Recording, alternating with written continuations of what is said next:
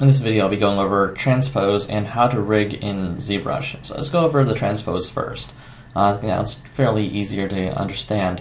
Um, so when we look at our model and our uh, general ZBrush interface, uh, we can tell that we have this little move, scale, and rotate up here. It works a bit different than the manipul- actually it works uh, very different from the manipulators we are used to seeing inside either Maya or Max or Softimage, etc. Uh, instead, you use a chain where you use uh, pivots and you rotate or move scale based on that. So here's my Balrog. I'm going to work, typically when I work with uh, transpose, I always recommend doing it at the lowest subdivision. This way it doesn't lag as much and it typically just works better. Um, if you want to move both sides simultaneously, just turn on X. It'll uh, toggle on the uh, symmetry mode. So let's see what happens if we were to just to try to move stuff around. You notice this little interface pops up. If you click and drag, it's basically a line. Uh, this marks one pivot, this marks the second pivot, and of course this is a center point. Um, notice how I don't have anything masked. If I were to move stuff now, it alters my full model. What if I don't want that? What if I just want to move this guy's arms up and rotate it up? Um, I'm going to turn off perspective. My recommendation is uh, to turn off perspective is just a little bit easier to work with and making sure that you're more accurate that way. Um, next, uh, the importance is um, you have to mask areas that you don't want altered. For example, he's not masked at all right now, so his entire body is deforming based on my little transpose tool. So uh, there's several ways you can go about masking. Uh, I'm going to go back to my draw mode. Um, you can just simply uh, hold control and mask out certain areas and uh, keep masking until you get the exact area you want. That's one way. Another way is going into transpose mode, holding control. If I drag out, I can mask from the center outwards. Um, sometimes you get some pretty good results, uh, sometimes you don't. So uh, just give it a try and see what you get. I want to use the other method. It seems to have gotten me generally better results. So I'm going to mask this, mask inside, because my mirror is on, my mask on both sides is exactly the same. Uh, the next thing I typically do is I soften my mask uh, because it's a bit sharp right now. If I hold control and click on my mask, it softens it, so there's a nice blend between the two. Uh, you can also always uh, unmask areas if you don't want, so hold control and alt, and you can always unmask. That way you can refine the general mask you have so it fits uh, your liking a lot better. I want to make sure I mask these areas on the side out. Uh, that way he doesn't deform weird. I'm going to use rotate because I'm going to rotate his arms upwards. So I take rotate, click and draw from my shoulder past the hand. Then I take the outer ring, which allows me to readjust, and pull that back. The reason I'm pulling past is uh, because it stays in a perfect line. If I look on top, it stays much better that way. Um, all I have to do now is uh, rotate. So if I take it from here, it's going to rotate based on the pivot I have on the shoulder. So if I move a pivot around, I can also have it so it matches a lot better. And there's my pivot. Now my arms rotate upwards. Um, you can also use it for move. Notice when I rotate, it stays in the exact same location. I can use center point now and move. Move his arms upwards if I want. Um, Again, that's because I have mirror on so both sides work. If I turn off mirror, then whatever I do on this side will not affect the other. So if I take this and rotate it around, notice why this is being affected because it's not masked. If I don't, I want it to not be controlled, mask this area off too. So when I rotate this, it's just one arm being controlled. That's pretty much how transpose works. It's uh, so if I wanted to do a certain pose, I can have this arm straight down here, and noticing the pecs coming in a lot more than I might want, I'm going to go in there, remask that area a little bit better. That when I bend it down, it's not going to affect it. But as we can see, it's a bit uh, sharp. Undo that, mask that, control click, so it's softer. And now when I pull it down, it's a lot more natural. Move this shoulder downwards and uh, now his arms are straight down, this arm right here is out. Um, let's say I want to bend this arm inwards, just right there, and nothing else. I'm going to now mask this whole arm over here off, unmask this, holding Control and Alt around this general area, Control click to soften it, and redraw my mask. my little transpose I meant. And I'm going to bend this. Uh, bending in the front view, though, might not be ideal. So I'm going to go in the side view here, redraw my transpose, go in the front, position this in the right location. Now it's a lot more ideal. I can just take this point now, probably not use move, but use rotate, and rotate that in. Now I've just bent uh, that part of the arm in. It's actually pretty cool. Um, and the reason why I do in the lower subdivision is because this affects the higher subdivision levels. So I go back to Q, my draw mode. If I unmask everything, I can go back my up my subdivision levels, and you can see whatever I've done has affected all the higher levels. Uh, I also recommend going back and adjusting and resculpting certain areas so it fits uh, a lot better. Uh, generally, though, I lucked out, and this looks uh, fairly accurate based on uh, the deformation of the body. Maybe lower the pecs down here a little bit more. Otherwise, um, you have some pretty good results. So next, I want to go over is how to rig a character inside uh, ZBrush. I'm going to do this whole thing, so I'll go back to where I was before. I'll just reload my tool, might be easier that way. Reloading this takes a while. Sorry, I'm using my laptop, so it's a bit weaker. I'm going to pull this down. I'm going to delete higher. Uh, I sculpted this on a significantly stronger machine, and I just don't trust my laptop uh, rigging a higher poly mesh. Um, so I'm going to use this. Uh, so here we go.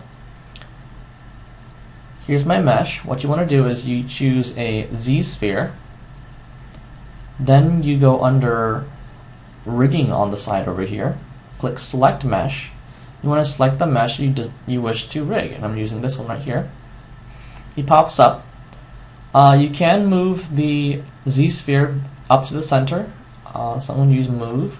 Let's move this up. I also recommend using a smaller brush when doing dealing with this. And I'm going to turn on mirror, so whatever I do on one side does, does to the other, and it stays exactly in the middle when I move it up. So I'm moving generally to the core of the creature and moving it where his chest is going to be. So you already know how to use Z-spheres. It's going to be very similar to creating your base mesh with Z-spheres. Uh, that's all you're doing is creating the underlining wire um, uh, fr structural frame underneath them. So I'm going to scale this up. So I switched over to scale. That's the shortcut letter E. And scale that up so it takes up more of his chest area in the side view. Move that back to the right location. Uh, then I'm going to go back to Q, which is my draw mode. I'm going to draw the areas where I see the shoulders are supposed to be. Use my move, which is W, to where your shoulders are at. Again, I'm going between the front and side view constantly. That way I can make sure everything aligns properly. And now, Q again. Draw out where my wrist is going to be at. Move that there, scale that down. So fairly large. The side view. Snap that there. Press Q to insert. You can insert in between. I click that inside. Use W, move that back to fit the uh, elbow better. Uh, and I'm going to move this up so it just matches perfectly. If you click in between, it'll move uh, a huge chunk together. If you click exactly on the Z-sphere, you can move just that Z-sphere and none of its children. Now, I'm not going to take too much time to put uh, all the uh, the joints inside the fingers. I figure you get the point of it at this uh, this juncture already. So back to Q.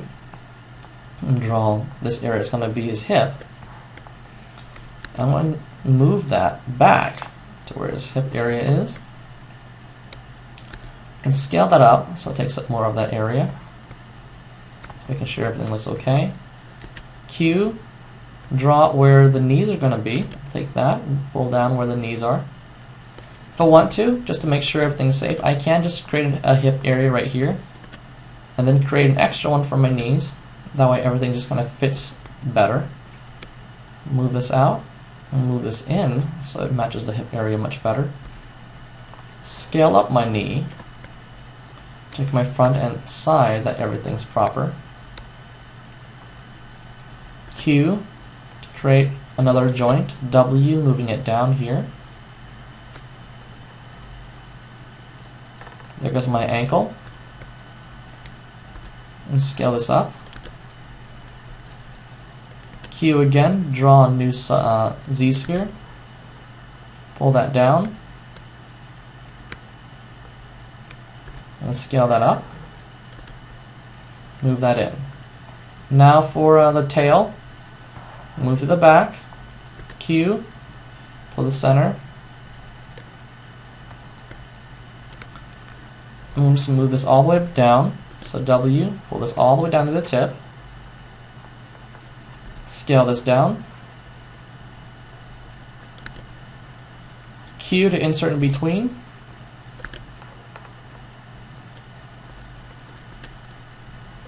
How many uh, joints are, is entirely up to you. And now I'm going to insert some more for his head. I also want to give one for his jaw. Uh, and some for the horns themselves. This way, uh, when I move the jaw up and down, the horns don't deform with it. So here goes the neck joint. Scale that up. He has a fairly large neck. Back to Q. In the middle, pulling that out. Move this to generally where his head's going to be. And scale that up. And I'm going to insert a joint for each horn, the front part of his face, well, I guess the top part, and then the jaw. Q, that's for the front part, lower jaw, the two horns. I'm going to get this uh, little section here first. I'm using move, move that down. Use the bottom jaw, pull, pull that down. Yes, I know it looks a bit funny, but it does do the trick. And I'm going to scale this up.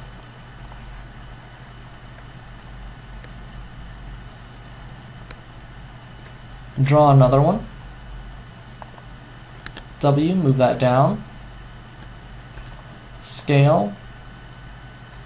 Side view. I'm going to move that forward.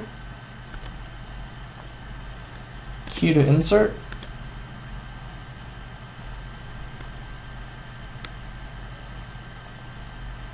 moving it all out right now. There goes that top. Q, again, make sure the side is proper.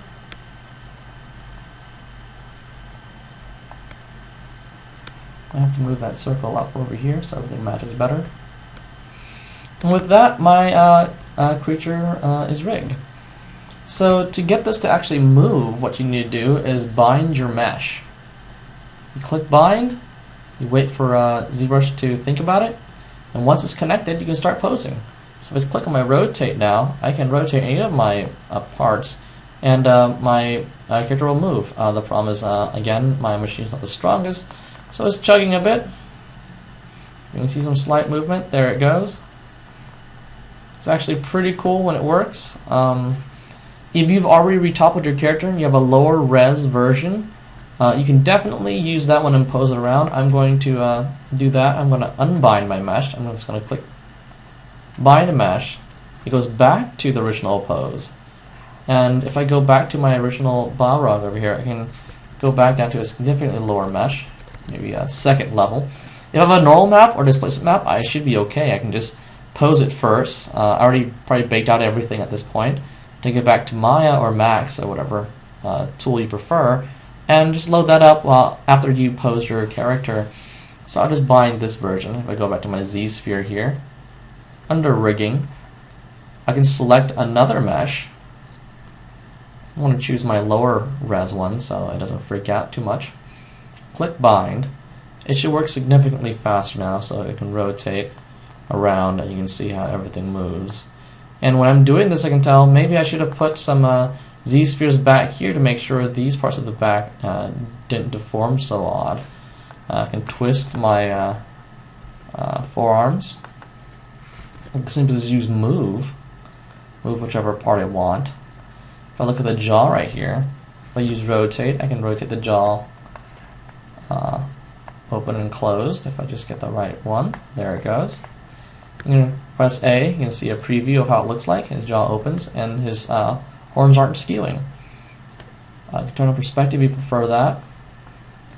I can move each leg individually, so if I turned off X, uh, and rotated, Can just rotate just the leg right now.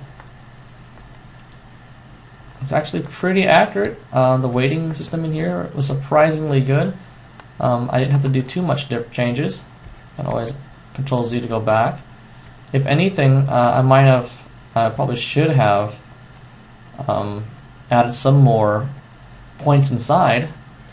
So being that I noticed a little problem, I can unbind my mesh, go back, insert a bit more. Just one more right there makes a big difference. So I'm going to bind it now. So this time when I rotate, you're going to notice it's not going to, I will scale. I'm not going to deform the side as much because I have another Z-sphere there trying to keep it in place. So that's the general rule is you just place it where you need to. But I always recommend going back and uh, fixing your sculpt a bit.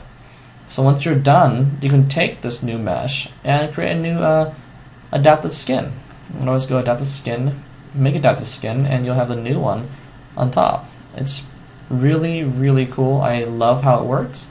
Very fast. Um, I would say if you didn't want to spend time rigging everything inside Maya or Max, it's a very fast way to just pre-pose your character real quick. Probably can turn on projection. Uh, you had this is also the same way you go about doing with uh, creating topology. You also have to rig and bind it and add a topology through here, but that'll be another uh, demo. But for now, that's how you go about uh, moving your character around. If you have any questions, feel free to ask.